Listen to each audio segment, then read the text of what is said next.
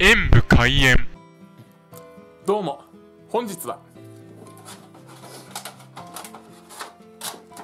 こちらのカレーマンを食べたいと思います。で以前あんまんを食べた食べたあんまんと同じメーカーさんのようですね。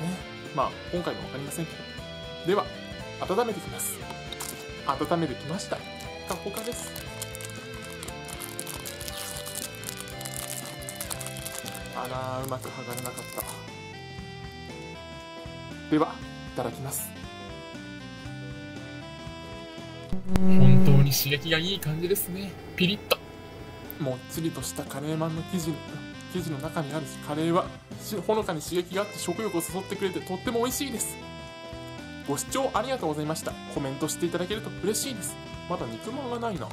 パソコンおよびスマートフォンのアプリの方はクリックをお願いします